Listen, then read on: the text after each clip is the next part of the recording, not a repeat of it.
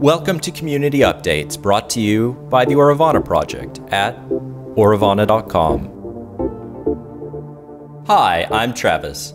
In this media release and a few upcoming, I'm going to explain what we mean as contributors to the Auravana Project when we use the word community, which necessarily entails an explanation of why the Auravana Project uses the word community as an encompassing descriptor for the proposed socioeconomic living system. The Auravana project exists, in part, to facilitate the emergent development of a set of free and open designs that logically derive and describe the technical operation of community. The current version of the proposed system that we refer to as Community is freely available as a series of design specifications that are collaboratively developed and distributed on our website, auravana.com. That's A-U-R-A-V-A-N-A.com. These specifications represent our duplicable and scalable proposal for the next iteration of our expressed fulfillment. What is community? Generally, when people speak about community, they are referring to an organization of individuals intentionally committed to supporting a shared vision, which includes participation in a shared set of activities. It's a group of people who have something in common and interact. A community shares information and can be relied upon in times of hardship, those in community may be said to have a similar direction, or at least orientation, to life. Individuals in community feel friendly and peaceful with one another. Most people, when they hear the word community, will imagine the experience of sharing a set of important relationships while gaining similar enjoyment out of life. When those of us designing an integrated living system think about community, we think about community as a more complex and enriching concept certainly involves the idea of commonality in relationship, but under what context are we imagining this commonality to exist? For every type of social organization with individuals intentionally committed to a shared direction, is there community? Is community just a sharing of vision and action and possibly location? Or is there more? A group of people can come together because they have a similar way of perceiving, understanding, and acting in the world. But community, in our view, goes beyond just the idea of having a shared direction and orientation in life. It says more about a group of people than that they are connected to each other in some important life orienting manner. At the scale of our living system, community says something about the specifics of perception, comprehension, and navigation held by those who are sharing information, behaviors, and resources in relationship. In other words, community is a specific type of human organization not just any human organization. In the design of a living system, in other words, how we live together on this planet, community doesn't represent just any group of individuals with a similar worldview and set of behavioral patterns in some similar location or space. The term, instead, refers to a group of individuals who maintain these common relationships, and the relationships orient toward intentionally greater fulfillment, well being, and flourishing for all. Hence, community is the term we use to describe the organizing structure of a societal living system where fulfillment and flourishing and all available resources are shared in common. In fact, the etymological origin of the word community comes from the Latin language word communis, which means things shared by all or held in common by all. You see, it's been known for a long time that sharing fosters strong community. Traditionally, that which was held in common was land and environmental resources.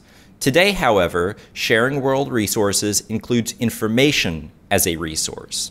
Community represents a recognition that sharing resources and holding the whole earth in common is necessary for everyone's flourishing. The word community itself can be broken down into COM, C-O-M-M, standing for commonality in communication, a common connection, and the second part is unity, standing for the harmonious interaction of the whole and integrated wholeness, which emerges for the individual into the experience of flow in daily life and oneness in internal life.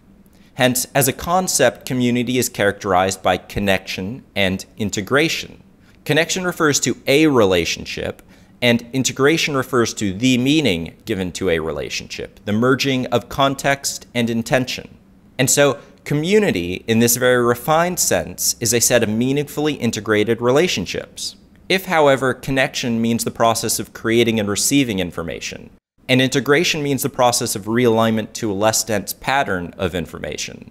Then community refers to the socially coordinated process of connecting and integrating information for our own evolution. And further, if the first part of the word stood for connection and the second part meant cohesion or coherence, then the word community might represent a highly connected and coherent model for human living. A model for living where humans accurately perceive environmental signals and construct in alignment with their fulfillment. Of course, similar things have been said about the universe itself that it is connected and coherent. The universe is a seamless dynamic of motion and information. It is an undivided wholeness of flowing movement. And we can connect up our living systems into harmony with this wholeness so that we too may experience flow in our own movements. We can form and dissolve our creations to more greatly align with a higher potential form of experience. Through the universe is a movement of the whole with which we can align, and our information model for community itself represents our most coherent form of that alignment. Hence, if we define communication as the replication of perception into another's mind, then community as communication and unity is the coherent replication of a unified understanding of how we might all experience more optimally fulfilled lives. Fundamentally, the higher the quality of information we are exposed to and share among ourselves, the more effectively and efficiently we will experience fulfillment in our lives. For there is less cognitive processing we have to do to make our experience coherent. With a conceptual definition of community in mind, when we speak about community, we ask, at what scale are we sharing resources for our mutual fulfillment? At what scale do we feel commonly connected and integrated and maintain a state of flow and oneness in our lives? At what scale are we experiencing meaningful relationships? At the social scale, the economic, the ecological, the technological, the planetary? You see, in community, we understand that we are all individually connected within a more integrated and encompassing whole.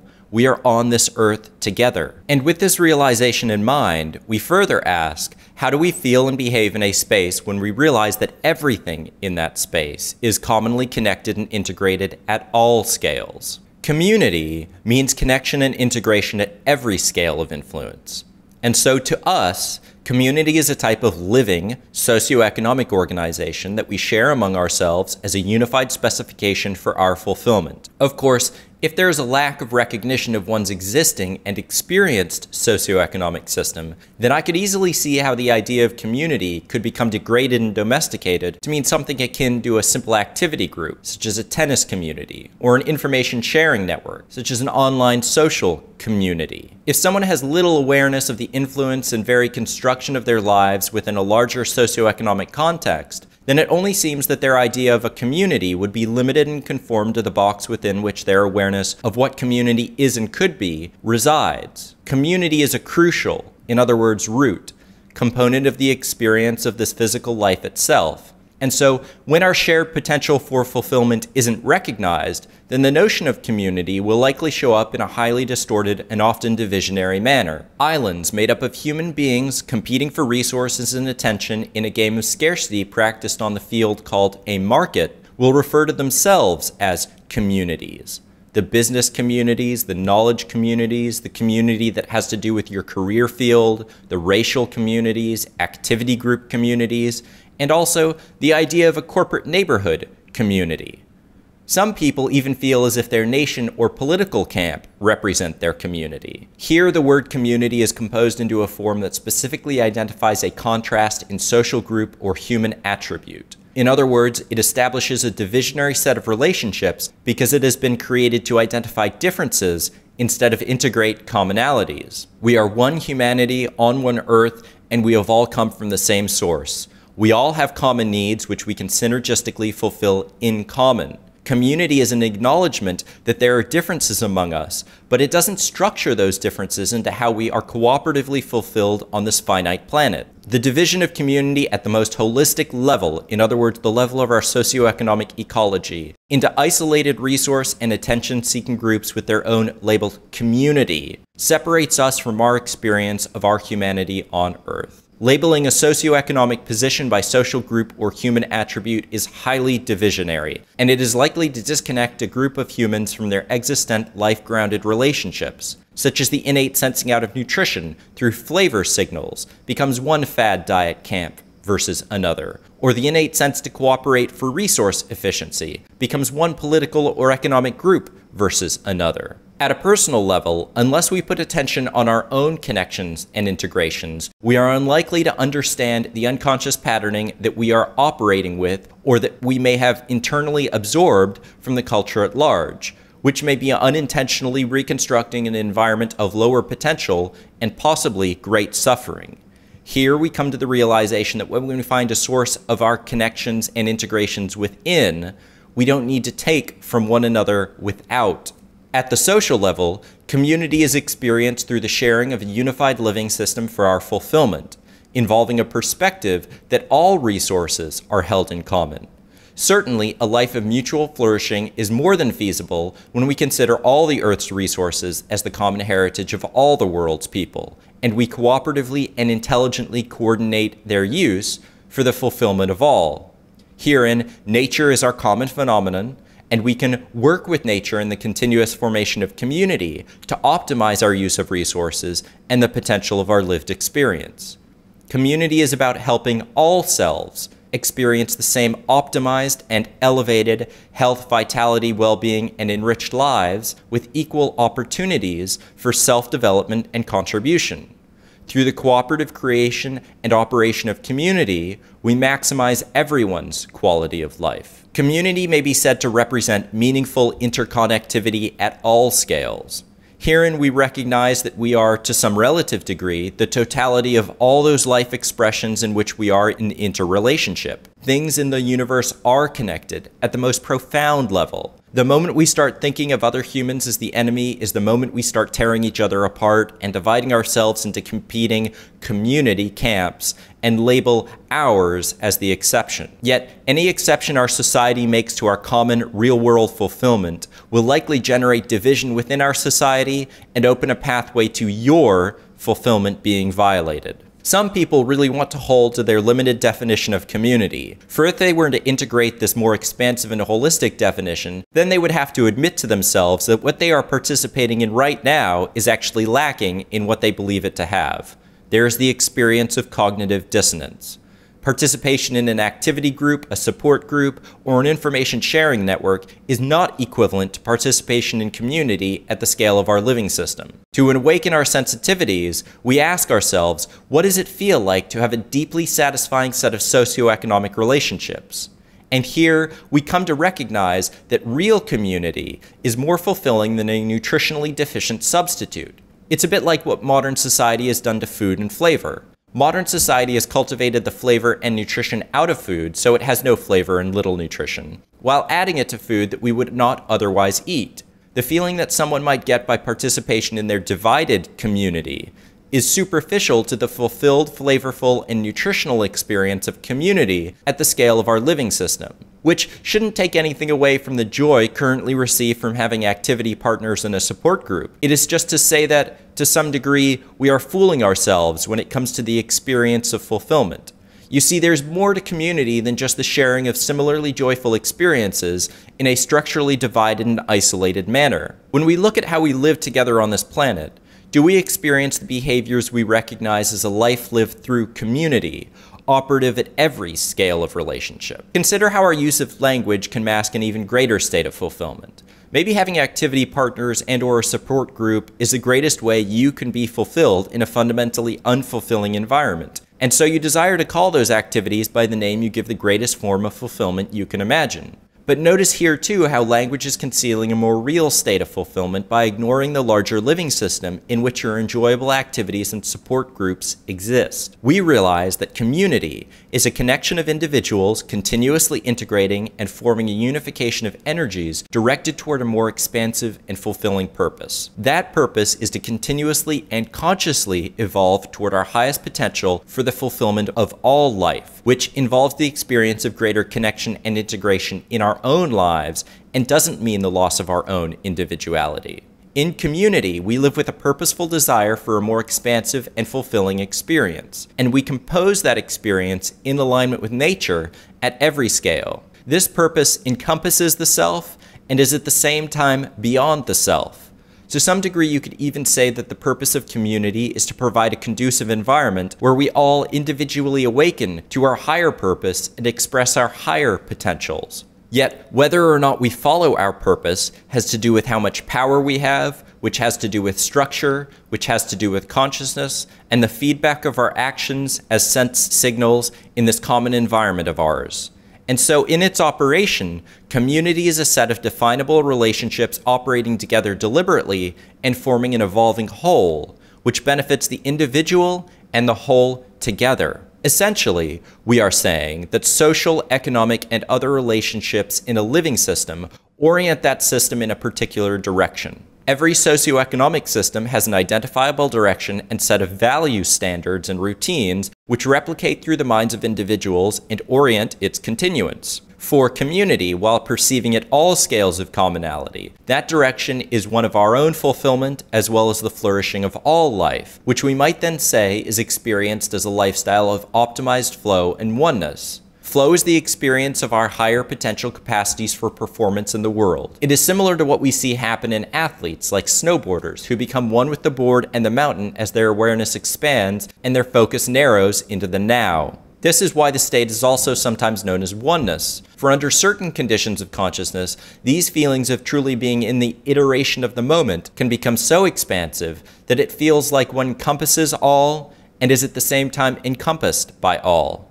Community, like the snowboarder, is in constant motion, and it is an awareness of the totality of the motion that gives it stability, sort of like something spiraling, like a tornado, which doesn't have permanence, but through its dynamic motion, through its structure, it has great power to restructure an environment for our fulfillment, or lack thereof.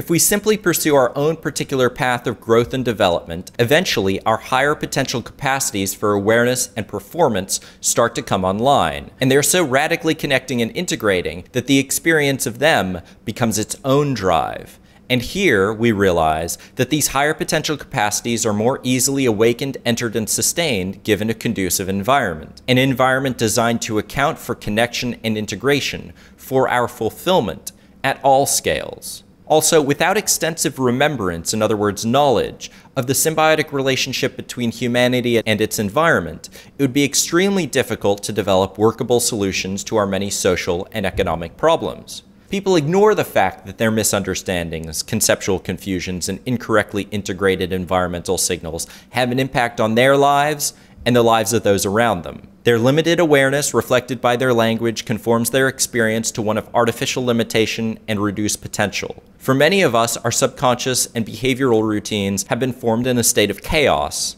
and we have to have a reality and conversation about that. It really comes down to an accurate sensing of and response to our environment. It comes down to knowledge and recognition that we aren't doomed forever we can begin integrating with our common reality in real time for our fulfillment. What we have done to this point isn't working. Where we focus our intention with repetition is the outcome. There are many now who focus on profit, which is not the organizing principle of community. We are ever so slowly transitioning society to a focus on fulfillment and potential. We are in an experiment Yes, we live in an experiment. This right here, right now, is an experiment in socioeconomic design. It's not like we're going to go to an experimental design. We are already in one. Instead, we are essentially saying, as contributors to the Auravana project, we think this one isn't working. So we need to change the way it functions. And because of the logic and evidence behind what we propose, we expect this new structural specification to produce better outcomes in terms of ecological regeneration, human well-being, and the experience fulfillment of all life on this planet. We are already in an experiment. We don't think it's working all too well, and so we are going to change it through an updated and testable design that makes the present system obsolete. Societies are experiments. To some, they are even laboratories. We can see by the choices we take, the outcomes we get, and we can learn from them. What if there were no limits to what we could share and how we could cooperate? Subscribe to one of the Auravana Project's information feeds like Twitter or our RSS feed, for we have more upcoming media releases in this series on community. You can also find the transcript for this media release on our website, auravana.com